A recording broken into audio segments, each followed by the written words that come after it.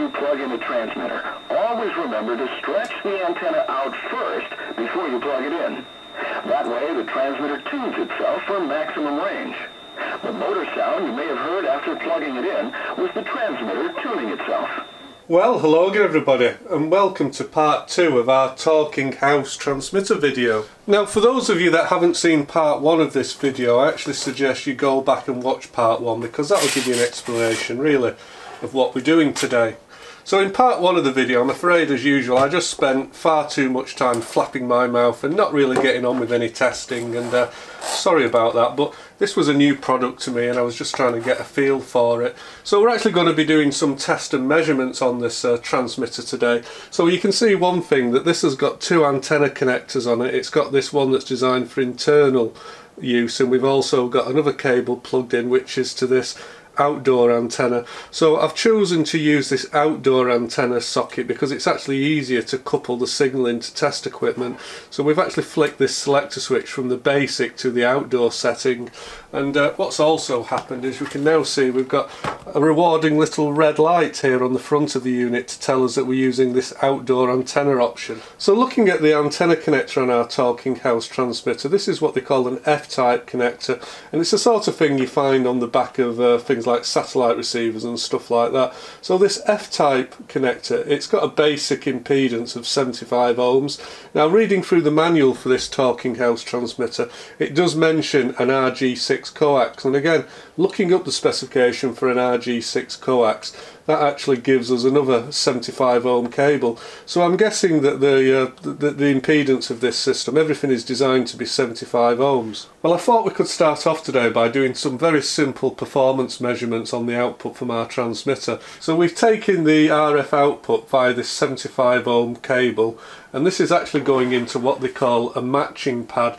Now a lot of oscilloscopes and things uh, they don't have 75 ohm or typically even 50 ohm inputs they actually tend to have uh, high impedance inputs now it's typically a good idea when you're working on RF systems to actually terminate everything in its characteristic impedance. Now it probably wouldn't make a whole lot of difference because we're actually working at a very low frequency here. It's pretty much uh, it's only 1.5 megahertz so it's really low frequency so you'd probably get away with using without using any terminations but it's pretty good practice now this is a also this is a terminator a 75 ohm to 50 ohm impedance converter and the other thing that this does it's also an attenuation pad that drops the power down by about 10 dBs. So I've actually got it written on here. It says uh, it says 9.61 dBs. So this is a homemade attenuator pad. In fact, the main purpose is it is to convert between 75 and 50 ohms, but you never get something for nothing. So in doing that conversion, between 75 and 50 ohms you actually introduce some attenuation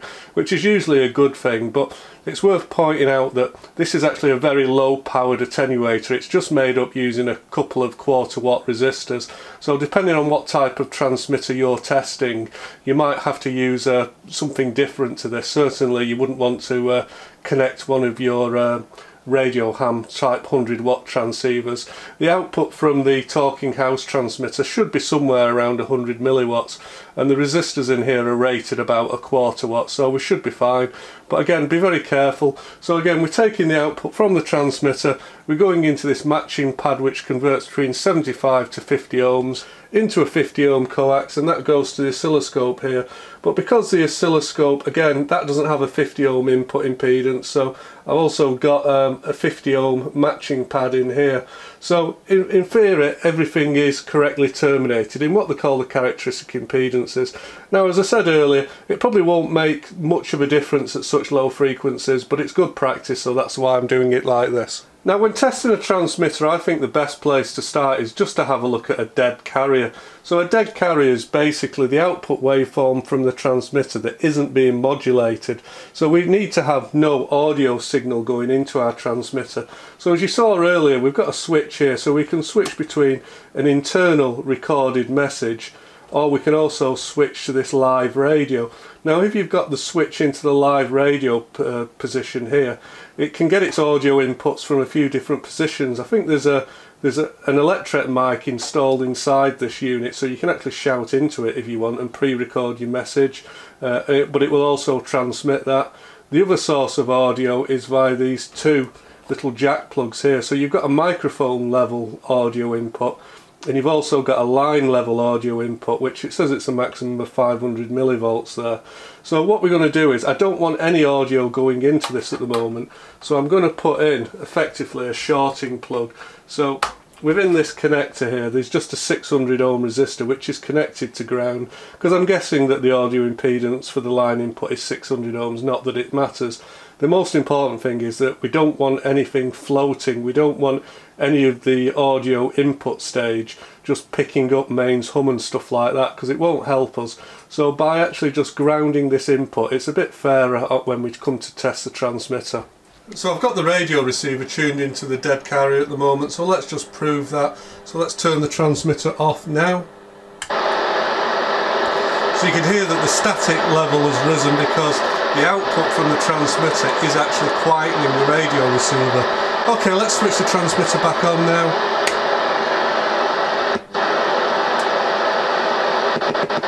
And you can see there that the radio receiver is now quieted again.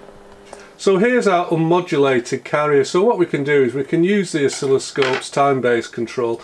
Let's just speed up the time base and we should start to see a nice sine wave.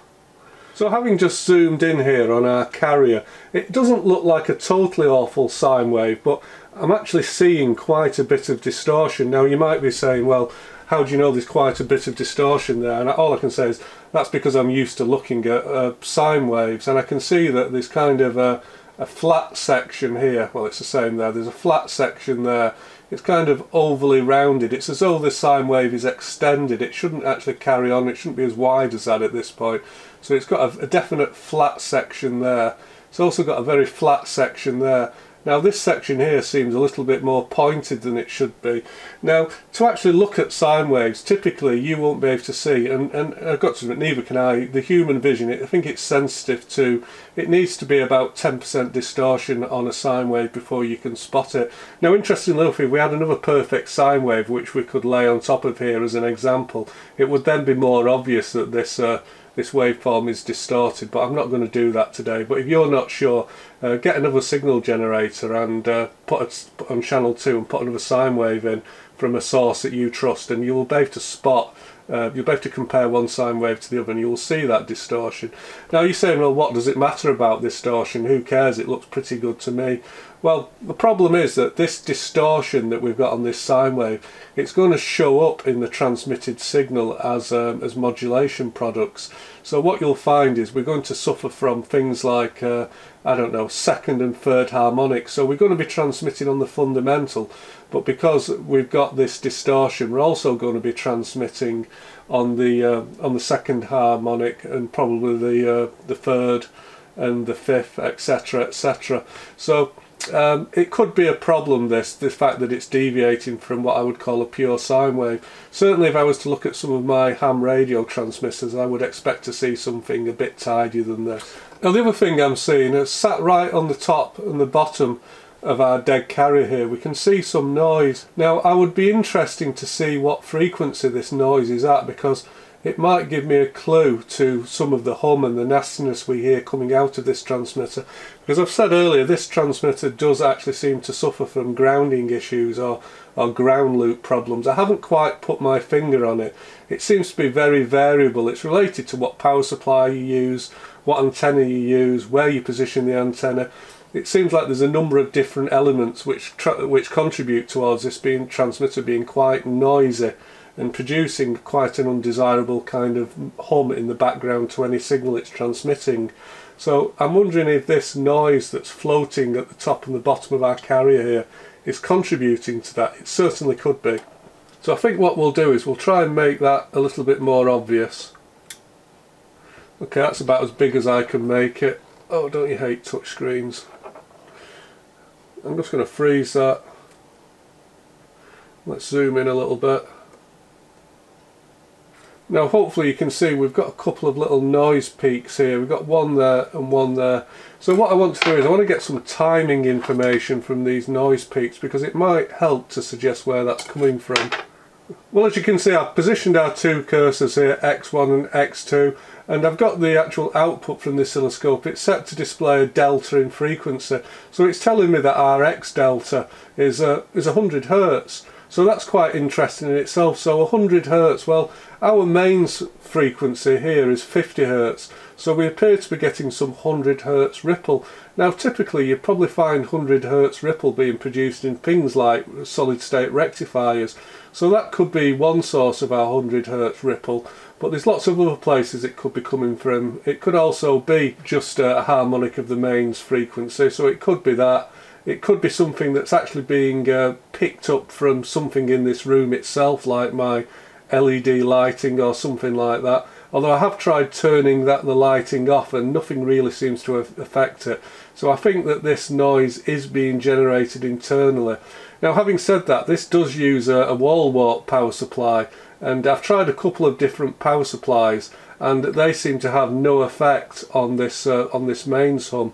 Shall we just try proving that? Let's just try maybe plugging in one of those switch mode supplies that we were messing with earlier. So as you can see I've gone ahead and I've unplugged the transformer based power supply and I've plugged in a switch mode power supply and I'm looking at the uh, the noise here on the output carrier. Now it's probably quite hard for you to see, it's actually hard for me to see so it looks like the amplitude of the noise has reduced but also the frequency so I can actually see where the, the markers were set before to, to give this 100 hertz ripple that we were seeing. Now looking at it I can see many many many peaks now. Let me just freeze it. I can see many little peaks here between these 200 hertz. Although the actual noise is such a such a low level it's difficult to actually discriminate it. Well it's probably quite hard to see but I found a couple of little sproggy spikes on top of the output waveform here which I believe are coming from the switch mode. So I've gone ahead and I've set up our delta cursors onto those little noise spikes and that's come out as being now a delta X of well 23 kilohertz. So I'm guessing that 23 kilohertz that's the free switching frequency of the switch mode power supply. So it does appear that in some ways uh, the switch mode power supply is actually less noisy than the actual linear transformer based supply.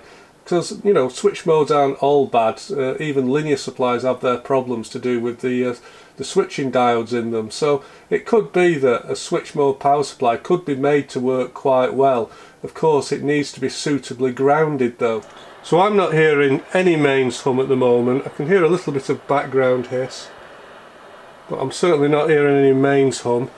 Let's try see if we can hear anything different with the other power supply in place. So that's on the switch mode.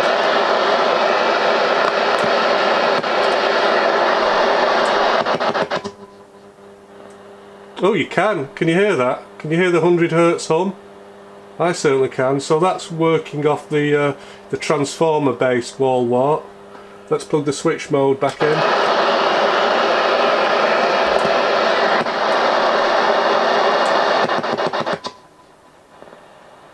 So there's actually less noise coming off our radio here using a switch mode power supply than there is using the actual uh, uh, conventional transformer. So there you go, switch modes, all is forgiven, come back. So, you know, although we all give switch mode power supplies a bad name, and I do as well, in this particular application, the, uh, the switch mode actually outperforms the linear power supply, but I suggest that's got more to say about the uh, quality of the linear supply which is supplied with the talking house transmitter than actually the quality of the switch mode. Now to keep everything honest I've just unplugged the switch mode and we're going to continue to use the uh, transformer based power supply for the rest of these tests. Well while we've got the oscilloscope plugged in we may as well just go ahead and do a quick power measurement. So we've got our carrier wave here which again is unmodulated so we're actually going to be measuring the peak power because we're going to get the maximum power when there's no modulation taking place. So in order to do our power measurement, we're going to use the formula V squared over R, V squared over R. So what we need for V is we need the RMS voltage. So I could actually go ahead and I could work this out longhand, but luckily for me, this scope does actually read it off directly off a measurement. So Here it gives the AC RMS voltage of about 1.01 volt. I'm going to go for 1.01 volt. Now you remember earlier that we've got this uh, 75 ohm matching pad on it. So this has actually got a voltage ratio of about 3 to 1 so any signal um, that appears on the 50 ohm side will actually be three times smaller than the signal on the input to our uh, matching pad. So I've got to take in that uh, ratio into account now I've got it uh, written as a voltage ratio here. Of course that also equates to about 10 dB as well. But so what we're going to do is uh, we're going to type that numbers into our calculator. So we take our calculator switch it on there. So we need our RMS voltage which is 1.01 1.01 I'm going to multiply that by this uh, this voltage ratio here which is 3.02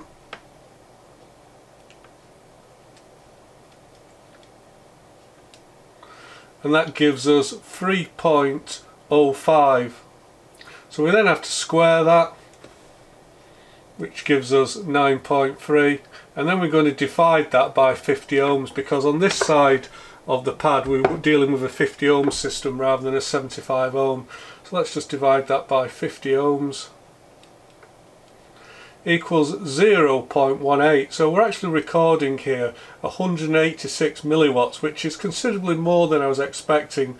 Now according to the part 15 compliance for this talking house transmitter the maximum output power is only uh, 100 milliwatts. Well it does seem to be doing considerably more than 100 milliwatts. It's actually doing closer to 200 milliwatts. I guess the question is how much of that 200 milliwatts is actually in band I suspect when we plug the spectrum analyzer in we're going to see uh, quite a lot of harmonics but before we plug the spectrum analyzer in I think let's go ahead and just have a look at the effect of modulation on our waveform so to take a look at the modulation on the oscilloscope, I'm actually going to use this RF test set here, but I'm not actually using it as a test set. I'm actually, to start with, I'm just going to use it as an audio frequency signal generator. So squirting out of this uh, connector here, we're going to get an AF signal. I'm just looking at what I've got it set to at the moment, and uh, if I just squint at it, well it actually looks as though I've got my audio signal generator set to about 600 hertz and 100 millivolts input. I think I'm just going to go and uh, make some changes to that. So I'm going to set the the frequency to 1 kilohertz. And to start with let's turn the actual generator off. Or certainly turn it down to a low level. Okay so I have I've turned it off. I've got 0 millivolts. So we've got our AF signal here coming out of the test set. Now because I've found that this transmitter is exceptionally sensitive to things like ground loops, creates an awful lot of noise. I'm going to try to minimise one of the ground loops by using this ground braid breaker. So all this is, it's an audio frequency isolation transformer. So basically there's no connection between the actual signal generator here and the transmitter. The only connection is through a transformer, so there's no direct copper connection. The connection between the two is transformer coupled. So these are very useful and in fact I would say if you're planning on using one of these uh, transmitters and maybe your audio source is going to be another radio that plugs in or a tape deck that plugs in, it's pretty essential that you go ahead and you purchase one of these high quality noise suppressors and isolation transformers. I seem to think that I bought this on Amazon a few years ago, it was about £15. Now I'm sure you remember we actually had our uh, input to our transmitter, we had it terminated in a 600 ohm resistor so I'm going to unplug that now and I'm going to replace that now with our audio output from our signal generator. So our audio output from our signal generator is now connected to the audio input of our transmitter. So the first thing I'm going to do is I'm going to start to increase the AF level which is going into our transmitter and the transmitter should respond to actually putting some modulation on here at about, uh, well exactly 1 kilohertz.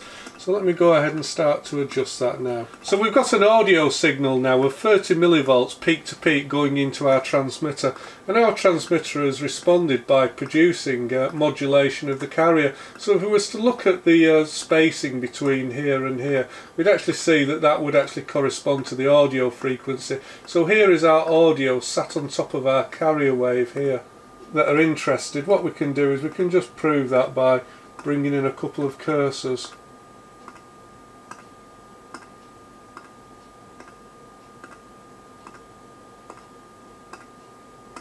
Zoom in a little bit just to make it a bit easier to line the cursors up. So we'll go pretty much to the top of that one and the top of that one there.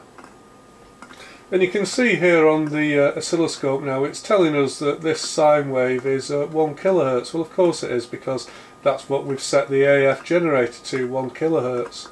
And just to prove that, I'm just going to go ahead now and I'm going to adjust the AF frequency from 1 kHz to 2 kHz. And what we should see is, we should see about as twice as many uh, peaks in there as we had before. So here we go, 2 kHz.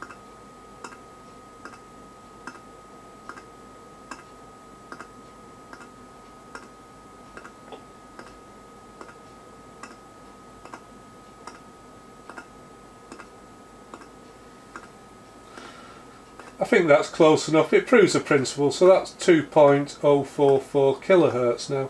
I'm going to go back to 1 kilohertz though, because people tend to use 1 kilohertz as a standard test frequency. So I've set the signal generator back to 1 kilohertz now, and now I'm going to adjust the frequency from 30 millivolts input to actually 50 millivolts, so let me do that now and hopefully you can see the modulation now has become deeper. So we have uh, they often express this as percentage modulation. So you can see we've got a little bit more modulation. I'm going to put a bigger step in now I'm going to go to 100 millivolts. And it's quite interesting to see now there is definitely some asymmetry in our waveform here in that you look at the uh, the height of the the modulation here it's certainly it's a lot shallower at the bottom at the top of the wave than it is at the bottom of the wave. So we did notice that asymmetry before. So I'm guessing that's, that's some irregularity in the output stage of the transmitter. certainly not as uh, linear, it's not as perfect as it could be. So that's at uh, 100 millivolts. Let's go a little bit higher, maybe we'll go to 120. So that's 120 millivolts. So with the audio level set to 120 millivolts, we're actually starting to see some distortion appear in our output waveform. I don't know if you can see, it's actually flat topping it's actually now starting to overdrive the output from our transmitter. It's actually the signal level is starting to get too high. So again this means this is going to start now to introduce distortion into our output waveform that we're transmitting. But yeah, it's definitely starting to flat top there. Let's put another 10 millivolts on top of that. Right, okay, we're starting to see very obvious distortion now. So it's it's flat topping very obviously at the top and the bottom now and we've also lost our lovely smooth edges to this and we're starting to uh, get straight lines here. So this transmitter these output transistors are going into saturation now so they're no longer working in a linear manner. So this will be starting to create an awful lot of distortion. And what I'm quite surprised about is the lack of effect of the limiting circuit in that it really hasn't limited the output level. It hasn't limited or it hasn't limited the AF input to a safe level which is stopping these transistors, the output transistors from going into saturation. So that certainly isn't good. Let's keep pushing it a bit harder. Let's go for 200 millivolts, quite a big jump. And you can now see what I would call box cars. The curves have now gone and we're getting very sharp edges it's a, it, these are yeah we call this a boxcar formation because it looks like a, it looks like a row of trains all next to each other. Or certainly that's one description of it. So with a 200 millivolt input to our talking house transmitter the output will be severely distorted. Now we can probably hear that. We'll hear this as um, a square wave coming through in the audio of a receiver. So let's just prove that. I'm hoping you can hear that. This tone sounds, I can only describe it as sounding harsh. Quite a good thing to do. If you've got a signal generator at home and a speaker, try listening to a 1 kilohertz sine wave and then try and listen to a 1 kilohertz square wave and you'll actually be able to hear the difference. Now the reason that a square wave sounds horrible is because when you listen to a square wave you're not listening to one frequency. If you listen to a sine wave you're only listening to a 1 kilohertz frequency but if you listen to a 1 kilohertz square wave well it contains a lot more than 1 kilohertz. It actually contains an awful lot of odd harmonics and you, you can hear all those odd harmonics and they make it sound unpleasant. So just to prove that I'm going to drop the modulation back to a more reasonable level. Now you can see it's now got a nice shape back to the waveform. Turn the volume up.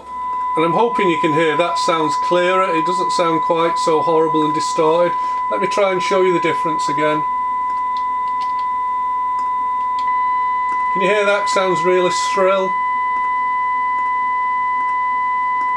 And back to 100 sounds much better doesn't it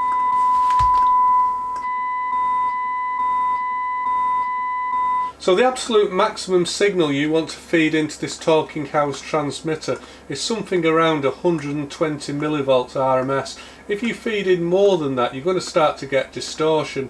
Now not only will that distortion sound horrible on the receiving radio, the other thing that you will find is you'll also be generating a lot of harmonic products in the RF so you'll be generating a lot of out of band transmissions for example you're going to be generating harmonics at um, at around, well we're set to 1500, 1.5 megahertz at the moment, so we'd be generating harmonics, the, the, the uh, second harmonic at about 3 megahertz and then the third harmonic at uh, 4.5 megahertz. So again, you want to keep the signal level down as low as you can to stop us generating all these spurious out-of-band transmissions. Congratulations! This talking house using the dial on the back of the transmitter. So unfortunately, as you can hear, the actual audio quality coming out from our little uh, radio here, it's actually quite distorted.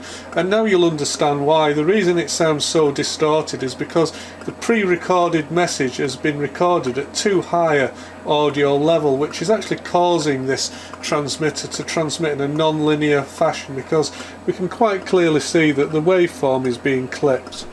Well as you can see I've gone ahead and I've actually modified our test setup here so that we can bring the spectrum analyzer into play.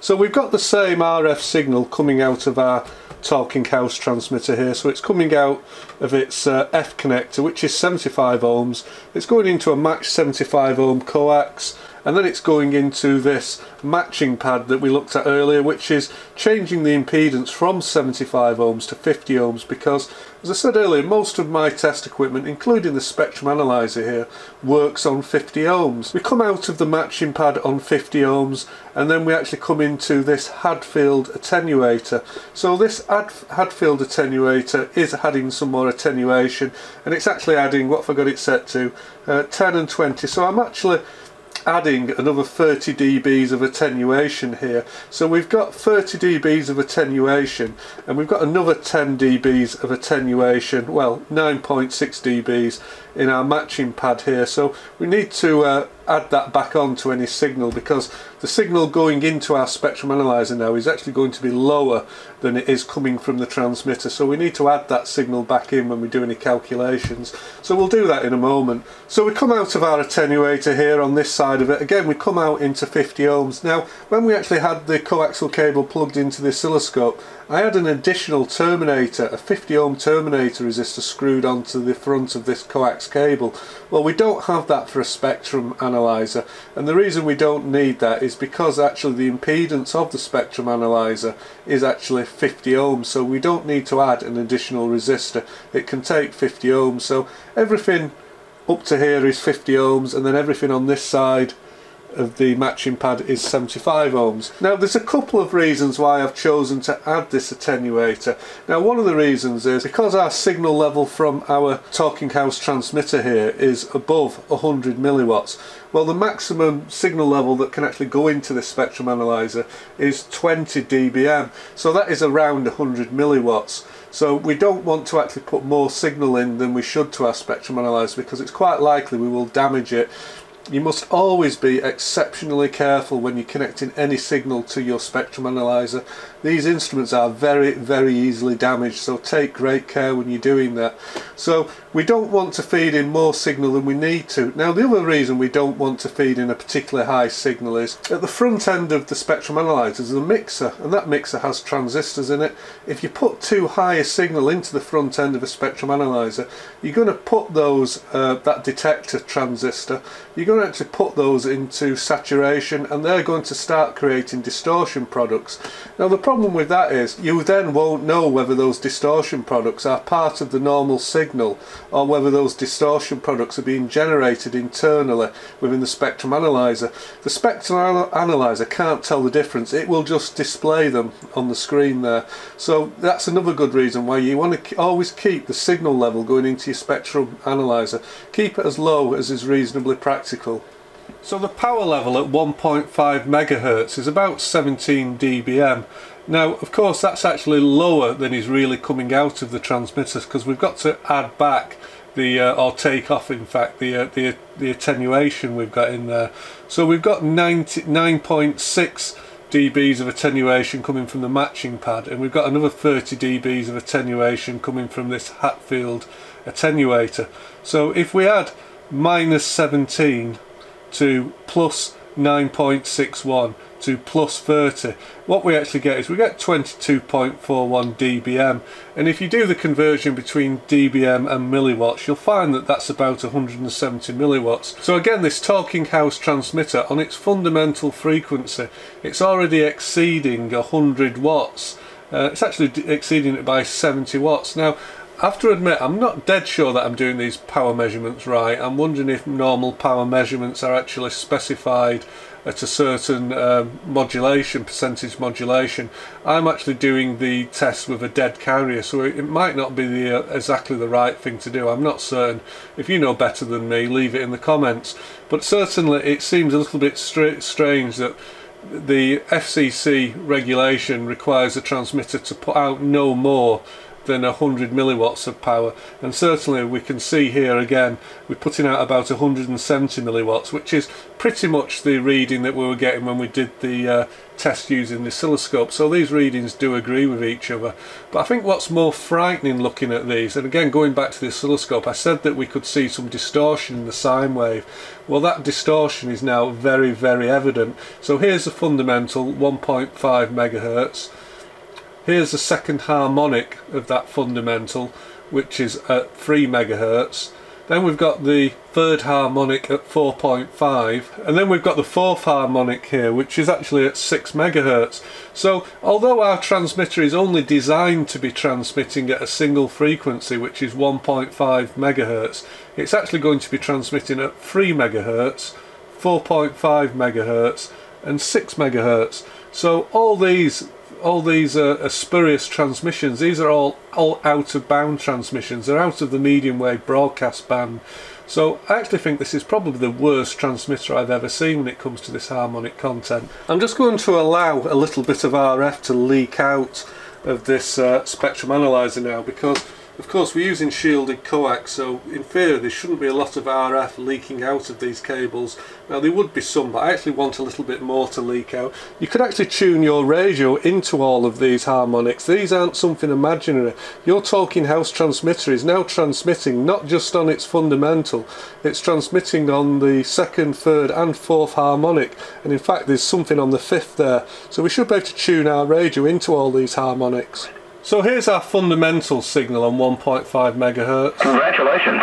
This talking house transmitter is a powerful... Let's readjust the radio to 3 megahertz now. Transmitter.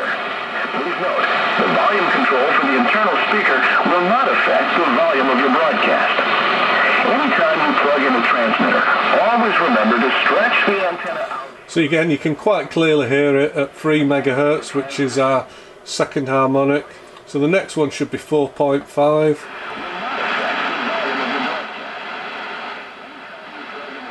so I can still hear that signal there at 4.5 megahertz. Now I don't think we're going to be able to hear it at 6 but part of the reason we're not going to hear it at 6 is because at the moment I've just got so much uh, attenuation in that's attenuating not just the main signal it's also uh, it's also attenuating these out of band trans by about 40 dBm it's attenuating it because we've got 10 here and uh, another 30 dBm set up in the in the Hatfield here. So I think if you were using one of these talking house transmitters you really would have to be quite careful and do some monitoring to make sure that you weren't creating uh, a disturbance to other radio spectrum users because the out of band transmission for this really is pretty poor. I'm fairly sure I mentioned earlier that this Talking House transmitter, it has an internal ATU. Now the action of an ATU doesn't just tune the antenna, it will also act as a notch filter to those out of band transmissions. Now the problem is, my understanding is the internal ATU is only used when we use this uh, this wire antenna here, this little internal antenna which is designed for indoor use. The ATU unfortunately doesn't tune the outdoor antenna. So I'm really hoping if we let this ATU tune itself up on its little wire antenna here, it shouldn't be generating those spurious out of band transmissions. So because we're actually transmitting into this wire and it's somewhat of an unknown impedance, it's not very easy to couple test equipment like a spectrum analyzer to it directly. So what I'm doing here is I'm just sniffing the RF. So I've just got a piece of wire. So this is the antenna wire here and this piece of wire is feeding to the input of the spectrum analyzer. Now this is quite a good way generally to uh, connect a, a spectrum analyzer to transmitters and stuff like that. Don't make a direct wire connection, just use a short length of wire to sniff for RF. Um, because you would need a very very high power level to actu actually damage a spectrum analyzer in this way because there's no direct connection but even so you want to keep the wires just a little bit separated as I'm trying to do here. So I'm actually quite pleased that the action of this internal ATU has really brought some of those spurious out of band transmissions under control. So this is the uh, this is the second harmonic which was actually at quite a high level before. It was only I think 20 dBs under the main carrier. So looking at it now it's actually 47 dBs under the carrier. Now again it's it's still not brilliant. I would be hoping to see uh, a reading of somewhere near 60 dBs. It might actually be a little bit better than this in the real world because we've also got some RF which is leaking directly out of the back of the cabinet which my spectrum analyzer will also be picking up via its length of pickup wire but certainly that's a lot better than it was before. I'm also wondering if, if at that level there, that minus uh, what is that? About minus 62 dB. I wonder if this radio receiver will still be able to pick it up at um, at 3 megahertz. Let's find out. House transmitter is a powerful marketing tool. Yes. We put this message on your I think it is probably worth remembering that the RF output from this outdoor antenna connector really is quite poor in terms of uh, its spurious out of band transmissions. It really could could have done with uh, some considerable low pass filtering which doesn't seem to exist. Now in the real world it might not be such a problem if you're connecting this maybe via an external ATU. I would definitely recommend connecting an ATU and maybe if that's done in conjunction of something like uh, an antenna which is resonant with a high Q then maybe that will do something to suppress the spurious out of band transmissions. But what I would say is if you are planning on using this outdoor connector, at least do some checking around and monitoring to make sure that you're not causing a nuisance to other radio spectrum users. While I was editing today's video, I'm afraid I did actually notice some mistakes in the explanation that I gave that were just wrong about the problems with this transmitter. So certainly yes, it does have a problem with out of band transmissions, but I think I was implying that that was to do with the output stage being very non-linear because it was being overdriven because I talked about it being clipping when I was looking at the uh, the square tops of these. Uh, I'm afraid I was actually quite wrong about that when I gave it some more thought and uh, I can very easily show that if I just actually zoom in. So we can actually still see quite a nice sine wave there. So it isn't actually the output transistors that are clipping. And again, we can just move this over to look at some of these uh, very fast rising edges. So let's just zoom in and look at some of those. So you, hopefully you can see that. So the actual sine waves aren't all clipped, they're not distorted. So the clipping isn't taking place in the RF output stage, the clipping is actually taking place in the audio stage, the audio amplifier within the transmitter. So I didn't make that clear and I did misspeak, so I'm sorry about that everybody.